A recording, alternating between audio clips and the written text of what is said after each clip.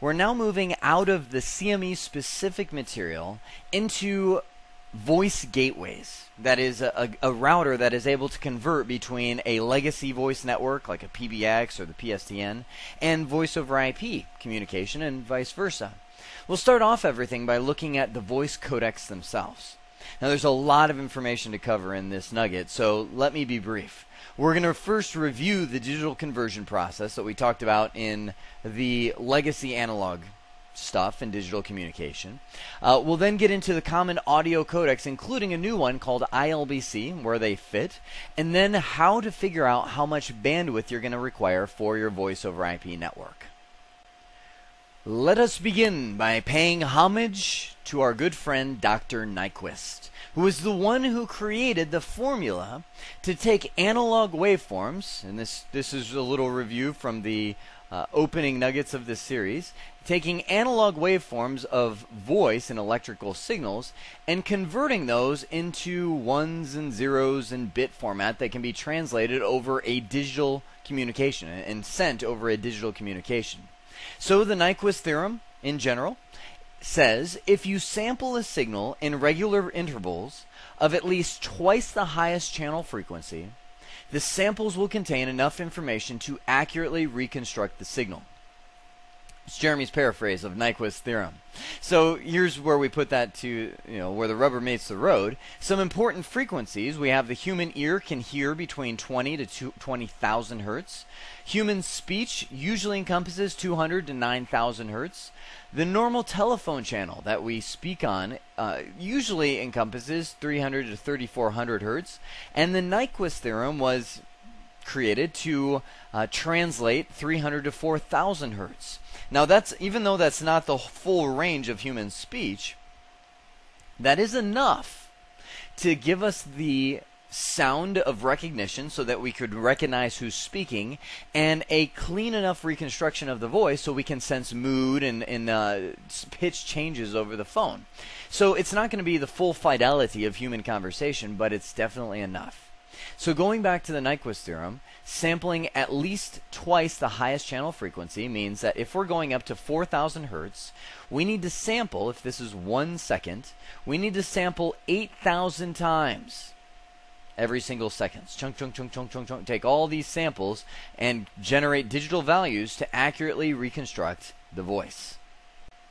So now let's get into the specifics of the Nyquist theorem and talk about how it works because this is going to relate directly to the voice codecs and how they put voice into packets. The simple four-step recipe of Nyquist. Number one, take many samples of the analog signals, twice as many as the highest frequency. We saw that in the previous slide. Calculate a number representing each sample. That's also known as quantization. So we've got you know all these different uh, known they're they're called PAM values, pulse amplitude modulation, or electrical uh, values that represent each sample. Step three is converting that number to binary, which is also called pulse code modulation or PCM, which gives it a binary value, like an 8-bit binary value, 1011, you know, 0, that kind of thing, that we can send over a digital line. And then optionally, step 4 is to compress the signal. So we have our good friend Lassie here that says woof, and that generates an analog waveform that we can then sample many times to put into a digital format. Let's break these down step by step. All right, now we can slow down and take a look at step one and two. Step one was to take many samples of the analog signal, again, the Nyquist theorem being two times the highest frequency. So if Nyquist said 4000 is the highest frequency to sample, the sample size will be two times that, which is 8000 samples per second.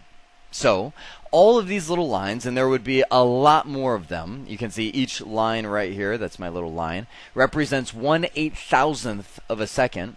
So if this were a second over here, there would actually be 8,000 little lines in between. Now this is put up to a pulse amplitude modulation, or PAM scale, which measures electrical voltage. Now, if you want to really get into the details of this, each one of these voltage areas, and, and I think, hang on, th- this was, I actually talked all about this back in uh, Historic Voice I'm looking for the exact title of it. I put uh, it's in the historic voice section of this series, digital connectivity. And I, I, go through all of this in detail there. I just want to give you a high level overview as we blend into the codecs. These pulse amplitude modulations are actually divided into specific sections. More samples are taken at the lower frequency where human voice usually resides. The further and further out, and I tried to draw it, it took me a long time to draw this thing. Further and further out, you got all these little you know, tight lines down here, and it spreads out further and further and further to where there's less samples and less um, you know specificity if that's that's a good word to use. There's less specificness up here as you reach these fringe edges edges of the frequency range. So down here you're not going to get as accurate of a reconstruction as all of the signals that you're capturing in here. Once we've got all of these electrical signals these PAM values will then need to convert them into a binary number, and that's the process of PCM. Pulse code modulation. So if this generates, we'll say, you know, whatever voltage, negative, blah, blah, blah voltage, PCM is going to take that, the PCM engine, is going to take that and spit out some binary value. Now, the PCM differs based on the type of sampling that you're doing, and there's one for the United States, like if you use the G.711 ULAW codec, uh, the PCM value is going to generate a different value than if you use what the rest of the world uses, G711 ALAW. I, I think I mentioned this in the digital communications section. I said U is the uh, best one for United States and Japan. A is the best one for the or wait, no, I said uh, another place, uh, another place. You know, pretty much all the world uses a law except the United States and Japan, and a few other areas use U law. But they, the PCM process for each of those is different. So while these are the same in that they consume the same amount of bandwidth, they are different codings. So you have to have some kind of conversion if you're moving between that. That leads up to the step four, the optional compress the signal phase.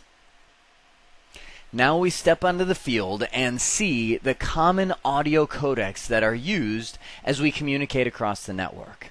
Now, this is a small sampling of the audio codecs that are available out there. There's many of them. Now, you can see up at the very top, I have the number one most commonly used uh, standard supported G.711. And as I mentioned, there was the two flavors of that, ULAW and ALAW. This is the direct equivalent to our legacy voice. So when we when we were in the old world, and you can head back to that historic voice section, we had all of the digital voice, and each channel consumed 64 kilobits per second of bandwidth, or we called that a DS0 of, of bandwidth. Well, G.711 is the voice over IP equivalent of that. It does not compress the information. It consumes 64 kilobits per second of bandwidth.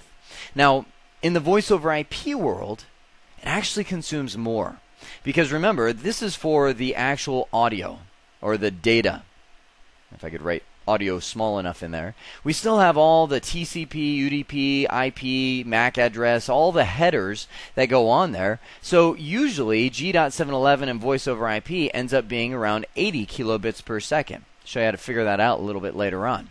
So we're actually getting less efficiency in voice over IP than we were in the PSTN. Now, that comes up to the mean opinion score, the MOS score.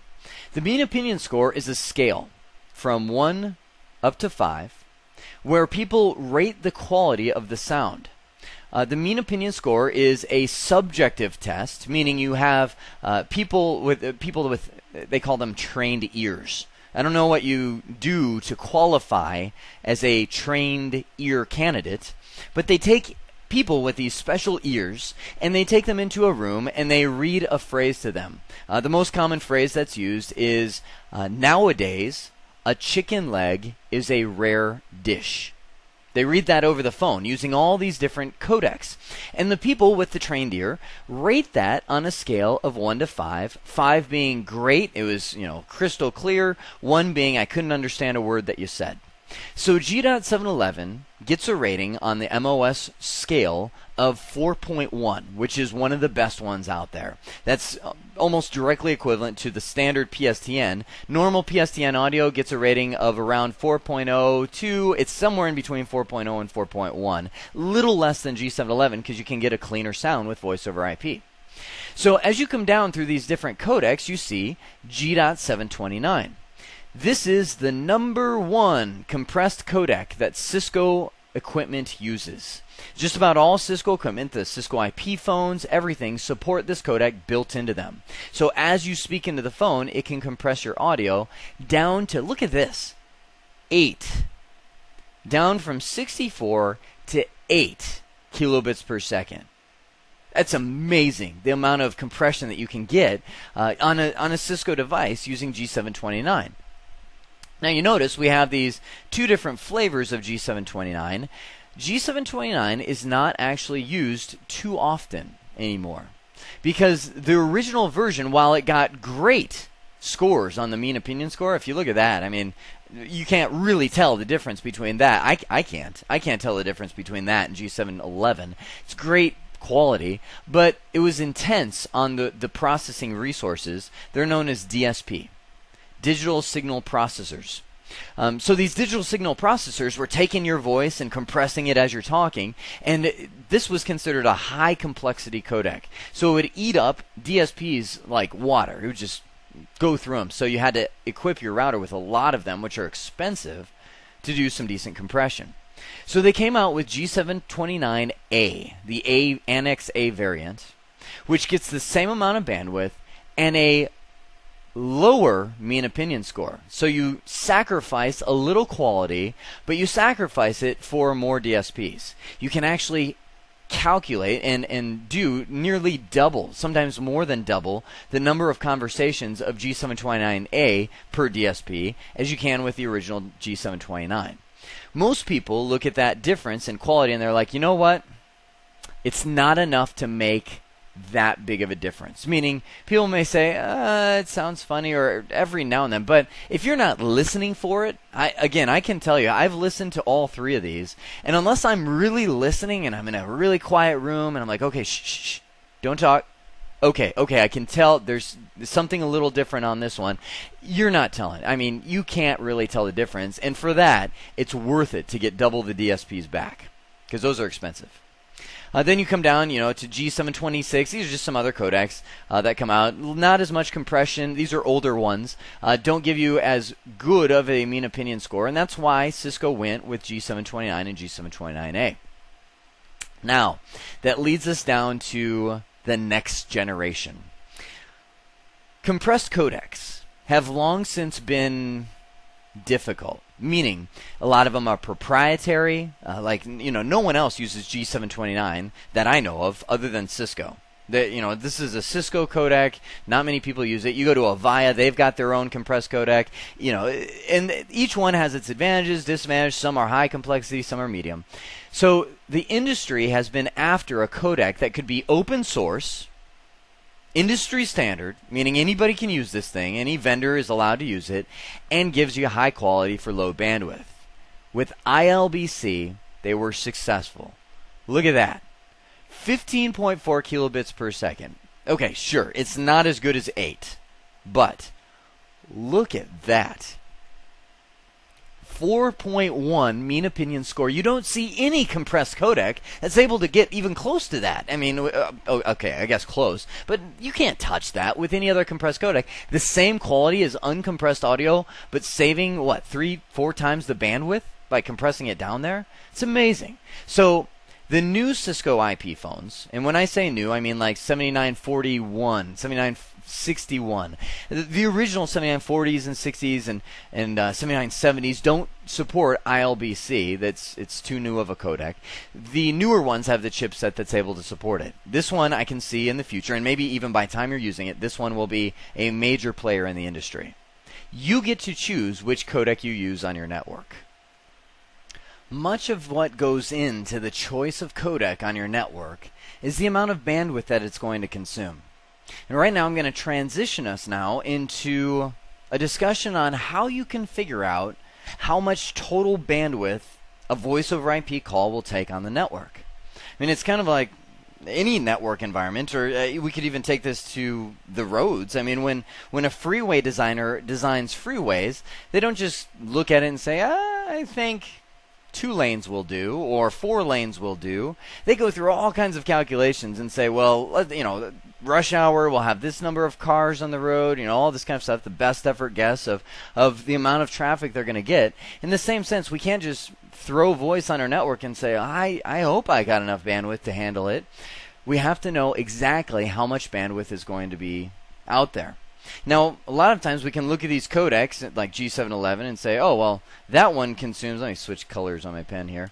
This one consumes you know 64 kilobits per second. I know that. Um, G729 that's 8 kilobits per second. We saw that one, and oh, here's one. The old, old, old Cisco phones. They don't even make them anymore. Use this one. This was 6.3 kilobits per second of bandwidth. So you can look at this and go, oh, okay. Well, I have a, a rough idea of how how much bandwidth they'll consume, but you'll need to have something more accurate than that. This is just for the audio. You want to know how much bandwidth total, including all the headers and stuff like that, it's going to consume when it goes across the network. So, let's take G711. When you when you say I'm going to use G711, the first thing that you want to look at is what sample size you plan on using. Now what I'm going to do is I'm going to take you to the CME voice router. Let me actually just jump back here and um, I'm to clear the whole screen off. Um, we're going to get into something known as a dial peer, and dial peers really dictate the structure of your voice network and the routing table for voice. And one of the things that you'll see when we configure dial peers, we'll say dial peer voice, uh, 50 voice over IP. Again, what more on this when we get into gateways, just a, a, preview right now. You get to choose what kind of codec you use when you speak to, to another side of the network, like when you're talking from your network to another voice over IP network. I'll say the codec and just hit question mark, and it spills out a list of codecs supported by this router. You see our G711 ULAW and ALAW right there. ILBC is right there, and it's it's uh, it's running you know G720 uh, 9. You can see that guy running right there. Uh, they also show Annex B. Annex B has VAD, which is voice activity detection. Talk about that in a moment. That can save you some bandwidth. So right now we're looking at G711. We'll say ULAW because I'm in the United States. So I'll say I want to use the codec G711 ULAW, and it gives me the option to specify the number of bytes per frame. This is how min- how much data do you want to put in for each frame of audio, and this is also known as your sample size, the amount of audio that is included in each packet. Now, by default, every packet that you send on the wire includes 20 milliseconds. That's the default sample size of audio. Having larger samples, like if I were to increase that to say 30 milliseconds, saves you bandwidth because you actually can get away in sending less packets. Because, you know, if I put more audio in my packets. That's less packets overall and less header information, so you get bandwidth savings. But the larger your sample is, the more delay you end up having. So if I have a 30 millisecond packet, I have to wait 10 milliseconds longer to get audio from the user and put it in the packet, which the longer your delay, this is known as the coder delay, by the way, uh, the more quality of service issues you may run into. So as we calculate our our um, bandwidth, how much bandwidth we're going to need for this audio, we need to use this formula. Now, first thing let me say, there's many ways to calculate bandwidth. This is the one that makes the most sense in my head. We have bytes per sample equals the sample size times codec bandwidth divided by 8. So what we're doing here is this is a formula that will give us the number of bytes per sample in each packet. In order to cal- calculate the amount of bandwidth that I'm going to be sending, this is a value I need, bytes per sample. Now you come back over here and you see that we have, you know, how many bytes for each one. For G- codec G711 ULAW bytes is we either type in 80, 160, or 240. But what does that mean? I mean, sure, I could throw the value 240 out there, but I mean, wh- what is that? Is that like 30 milliseconds of audio? Is that 20? What is that? So what we can do here is use this formula. You can see bytes per sample, which I just typed in was 240. So I'm saying 240 bytes are going to be put in this packet. So if I put 240 equals sample size, you know, this is in milliseconds what the sample size is. We don't know this value. Sample size is our variable, if you will, uh, times the codec bandwidth. That'll be our 64,000. This is in bits per second, by the way. 64,000, because that's G711, 64 kilobits per second, or 64,000 bits per second, divided by 8. That will give us what our sample size is in milliseconds. So, doing some some uh, arithmetic here, I'm going to have to say, okay, well, in order to get that sample size, let's bust out our calculator. Which, by the way, you don't have a calculator on the exam. Uh, so we'll say, you know, 240 in order. Well, let me let me go back to algebra. I know it had been a while for me when I first got into this. So, in order to figure out what sample size is, what what sample size that'll give me, I need to multiply both sides by 8, right? I need to get the variable by itself. So, I'll multiply this side by 8 so we'll say times 8. And we'll multiply this side by 8. So, you know, this will cross out the 8 over here. That's gone. And bring up the calculator.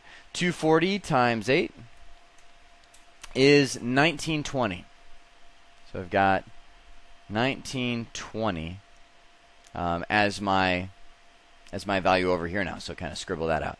So now I've got sample size times 64,000 that's left over. Well, again, to get sample size on its own, I need to divide both sides by 64,000. 64,000. So 1920 divided by 64,000. Actually, I know there's a, a, glitch on my slide. I'll have to show this to you. I'll hit uh, enter on that, and it comes out with 0.03. So sample size over here, I'll flip it around, equals 0.03. And my mistake is right here. This is sample size, sorry, in seconds. So 0.03 is 30 milliseconds. Milliseconds is 1 one thousandth of a second, so that would be 30, 30 milliseconds that my sample size is. So if I were to use a sample size, so let me jump back here, a sample size of 240 bytes, that's a sample size of 30 milliseconds. Now using that, I can I can estimate. You know, divide 240 by 80, and that's three. So 80 must be 10 milliseconds. This must be 20 milliseconds, and this one we just figured out is 30 milliseconds. So let's say, you know, scribble all this out. Let's say that I'm going to use a 20, I'm going to use the default 20 millisecond sample size for G711. I now know that that will generate a payload of 160 bytes per packet, right? 60 milliseconds equals 160 bytes per packet. That's G711 audio. Okay, that's the first step of figuring out how much bandwidth I need. Now I'm going to carry that value over to this slide. We figured out G711 with a 20 millisecond sample size equals 160 bytes. Because now to that, I need to add in my data link and network overhead. So we've got the Ethernet frame relay or PPP, three common data link layer uh, communication styles. Depending on which one you're using, you need to add in a specific amount of data. So we're well, let's say we're using G711 20 millisecond sample size over an Ethernet network. That will take our 160 per packet plus 18 bytes of overhead for our Ethernet and we now have 871, 178 bytes per packet. I'll just put uh, bytes per packet, like that. So that's the data link overhead. We now need to add in our network overhead. Now, thankfully, this one is not one that's hard to remember. You see IP, UDP, and RTP. This is actually network and transport layer. The IP layer is always 20 bytes. UDP and RTP are always 8 and 12 bytes of header information the best way I always remember this, quickest way for me to remember, is network plus transport layer equals 40 bytes. It's always 40 bytes of data. It's almost a, a static value that we can put in there and say that's how much it is. So I can just go plus 40 bytes per packet. Uh, ends up being 8. That'd be 1, carry the 1. So we're up to 218 bytes per packet uh, of now think G711 plus Ethernet plus IP, UDP, and RTP. We're up to 218. So let's carry that value over here. We have 218 bytes per packet. And now we get to throw in our tunneling or bonus overhead, is what I call it. Um, if you are doing any kind of tunneling, like you know generic routing encapsulation GRE tunnels or L2TP or like an IPsec VPN tunnel. This is your VPNs or MPLS label switching. That's uh, that's used by service providers. Each one of these adds a certain amount of overhead to your packets. Now, thankfully, we're going over Ethernet in this case. So unless you're doing a VPN on top of your Ethernet connections to encrypt all of your voice communications, uh, this probably isn't going to be valid this is only if we're connecting over the internet or using some kind of WAN connection to link in that uses one of these t- tunneling technologies. So finally, let's take our bytes per packet calculation into our final calculation window. Here we are, the final bandwidth calculation formula. The total bandwidth for your communication is the packet size times the number of packets per second. So, our packet size was 218 bytes, right? 218 bytes per packet. Our packets per second, well, how do we figure that one out? Now, it's not, not too bad. Once you know the sample size, our sample size was what? 20 milliseconds, right? Every packet gets 20 milliseconds of audio. Well, there has to, you know, every second of audio contains a thousand milliseconds. So if we take a thousand divided by 20, can't believe I'm about to use a calculator for that. 1,000 divided by 20, that gives us 50. I am shamed. 50 packets per second. So, take 50 times our packet size, which is 218 bytes, equals, so 50 times, where's my calculator? Right there. 50 times 218 equals 10900. So 10900, and this is going to be bytes, because that, that was the packet, the amount of bytes per second. Now, we don't usually work in bytes per second in the network world. We usually work in bits per second, right? So to figure this out one more level, we have to take 109, uh, uh, 10,900 bytes times 8, because there's 8 bits in a byte. Come back over here. Times 8 equals 87,200. 87,200 bits per second. Now, again, to make it a little more understandable, we can divide that by a 1,000 to say this is about 87.2 kilobits per second of bandwidth. So we're in the the legacy voice world. We only needed 64 kilobits per second per voice channel. In the voice over IP world, we would need 87.2 kilobits per second of bandwidth to send the same uncompressed audio. So that should tell you something. Using G711 is actually less efficient bandwidth wise than using the legacy voice equipment that existed in the, you know, in the PBX realm. So to really get bandwidth savings, we're going to need to look at compressed codecs, or at least using some of the other bandwidth savings measures. Now, before I talk about the bandwidth saving measures, let me uh, comfort some of you test takers out there, because I know some of you are studying for the CCNA voice exam. The bandwidth calculations that I just showed you, most likely, I'll never say it won't be on there, but most likely won't beyond the CCNA voice exam.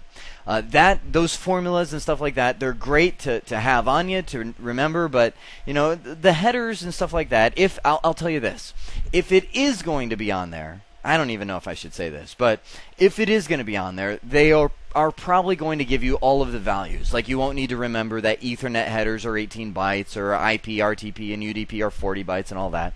Most likely they'll give it to you all right there. But if you do get onto the CCVP and move on to the C voice exam, uh, that's where you'll you'll need to know how to calculate bandwidth just off the top of your head. So keep that in mind. Most likely won't be there, but man, is that handy information to know how much bandwidth you're going to need for any voice codec for any voice conversation. So now let's talk about the bandwidth savings measures. two things that we can add into voice over IP communication, and that is VAD and compressed RTP. VAD cuts out what I would call the sound of silence in our voice communication. About 35%, amazing statistic right here. 35% of an average phone call is silence. Meaning that when you, you know, hey, how's it going? Silence.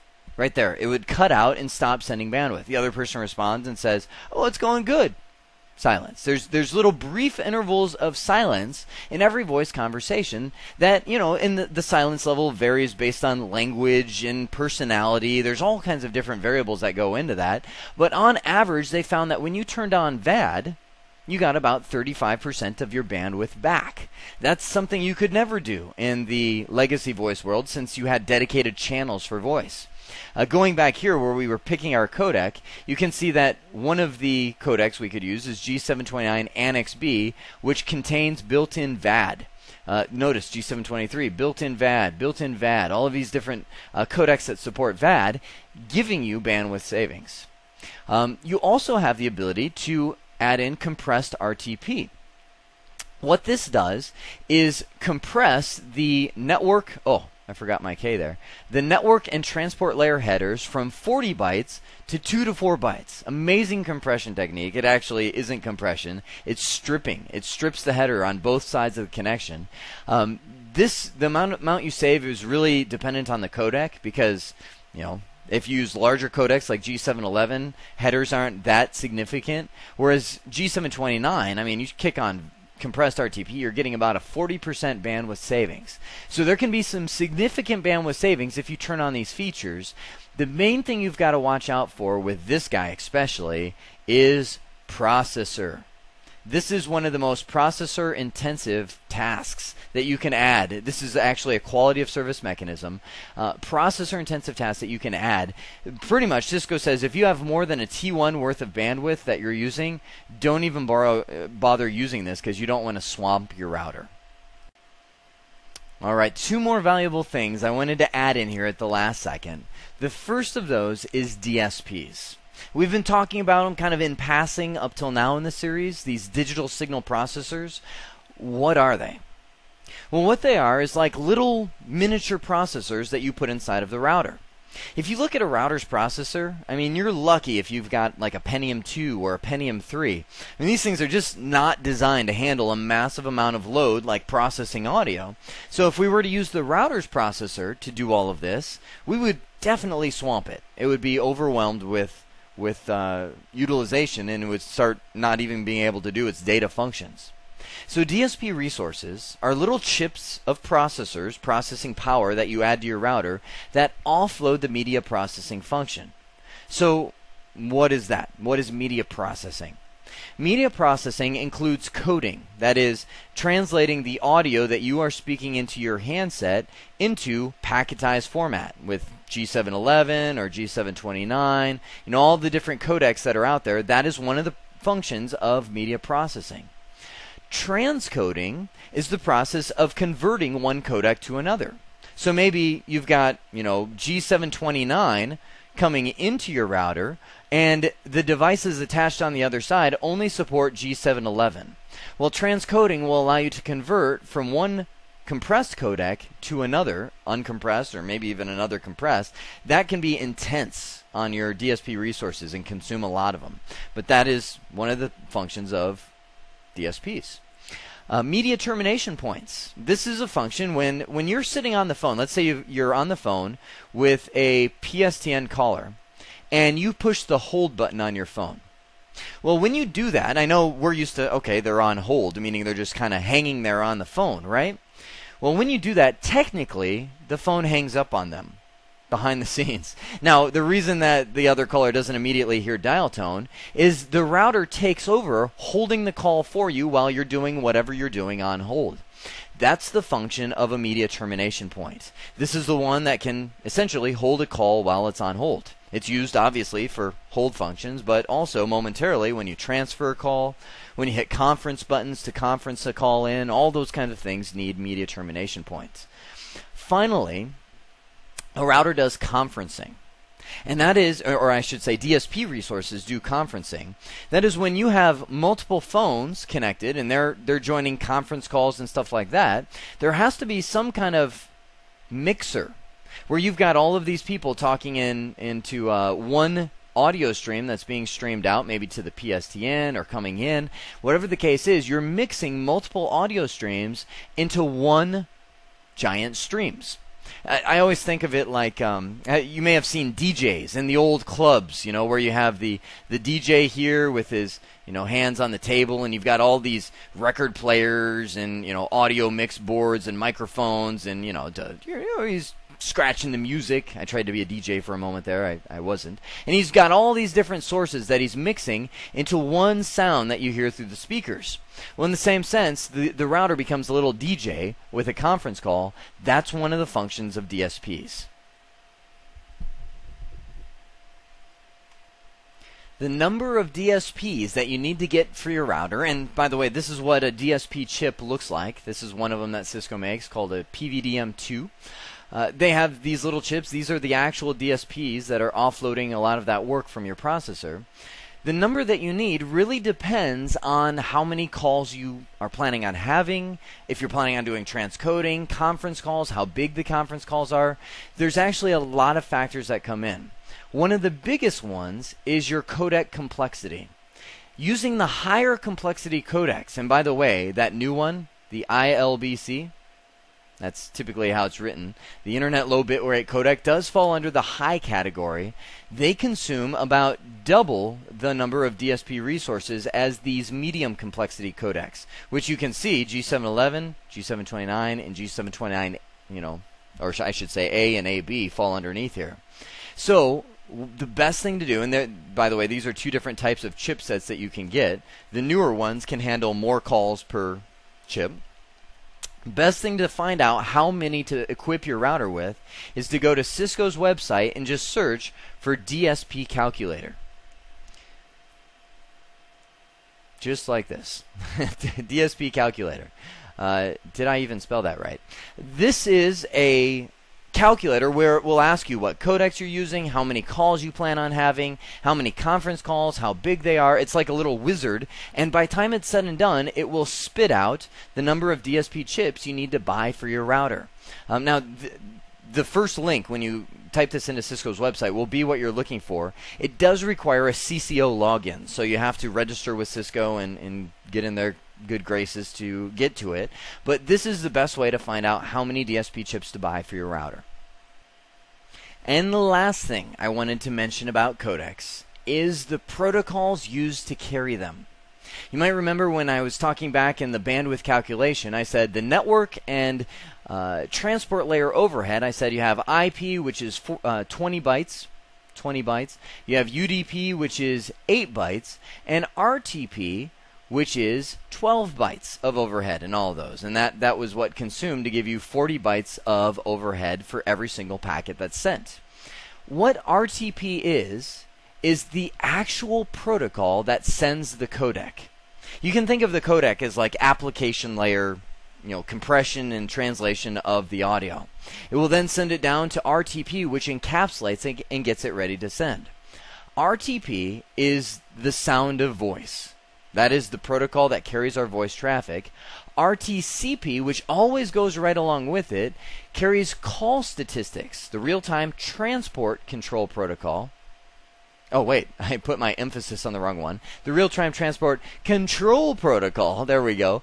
That is the one that carries the statistics between the two uh, endpoints. This one is not where, anywhere near as valuable as the RTP. And I show this to you because when we get into quality of service, one of the things that you'll need to prioritize is your RTP. And a lot of people say, well, don't we need priority for this one as well? Maybe a little, but nowhere near as much as RTP. If you lose some of these packets along the way, you won't get accurate statistics. Meaning, if you go on your phone and, and look at it and you can actually pull up call statistics, those those won't be accurate. It'll be invalid. But I mean, I, rarely, if ever, will you do that in day-to-day network operations. RTP is what's valuable. That's the the audio that you need to prioritize. What makes it difficult is every single phone call that you make uses a random even numbered uh, UDP port between 16,384 and 32,767. So Uh, if you're talking even ports, the last one you'll use is 32766. So with that, RTP will grab one of these ports. That helps when you're choosing what ports to prioritize with quality of service. It'll be random. RTCP uses random odd numbered UDP ports. So both of these protocols choose ports from the same range. One uses even, one uses odd. Those are the protocols that make your voice work. I know that was a lot of information, and I know I had to talk really fast going through that nugget because I really wanted to cram it all into one single nugget on voice codecs. Most of that will act as a precursor to the upcoming nuggets where we really dive into the voice gateways and then talk about communicating between our voice networks, setting up links and trunk links between uh, our voice networks and our PSTN links and so on understanding and reviewing, you know, the digital voice conversion process, knowing how the audio codecs work, and being able to calculate the amount of bandwidth really lays the foundation for inter-network voice communication. I hope this has been informative for you, and I'd like to thank you for viewing.